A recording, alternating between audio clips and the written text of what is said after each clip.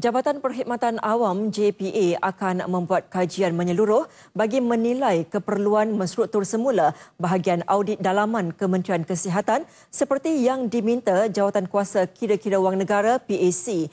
Ketua Pengarahnya Tan Sri Muhammad Zabidi Zainal bagaimanapun enggan mengulas mengenai tarikh ia mula dilaksana.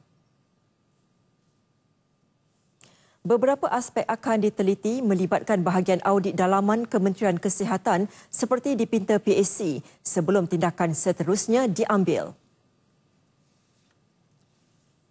Okay, saya mengambil maklum dan perkara itu akan dikaji sepatutnya, sewajarnya.